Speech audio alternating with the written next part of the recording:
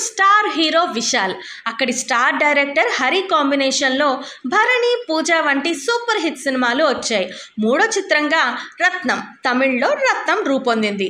భరణి పూజ చిత్రాలు తెలుగులో కూడా బాగా ఆడాయి. అందుకే రత్నంపై కూడా మంచి అంచనాలు ఏర్పడ్డాయి.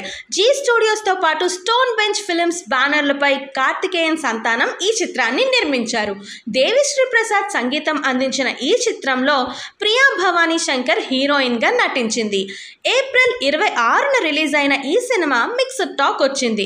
అయినప్పటికీ మొదటి రోజు ఓపెనింగ్స్ ఓకే అనిపించాయి. కానీ రెండో రోజు ఓపెనింగ్స్ నుండి కలెక్షన్స్ డౌన్ అవుతూ వస్తున్నాయి. ఒకసారి సెవెన్ డేస్ కలెక్షన్స్ని గమనిస్తే Nizam zero point five five crore Ceded zero point three zero crore Uttarandhra zero point two zero crore east zero point one zero crore west zero point six crore Guntur zero point one five crore Krishna zero point one five crore Nellore zero point zero six crore AP plus Telangana total one point five four crore Rathnam చిత్రానికి మూడు point నాలుగు కోట్ల theatrical business జరిగింది.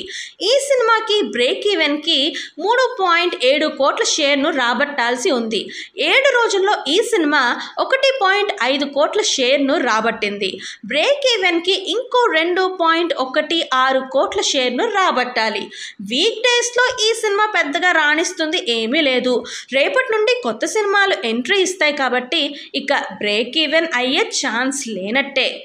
మరిన్ని updates కోసం please subscribe the channel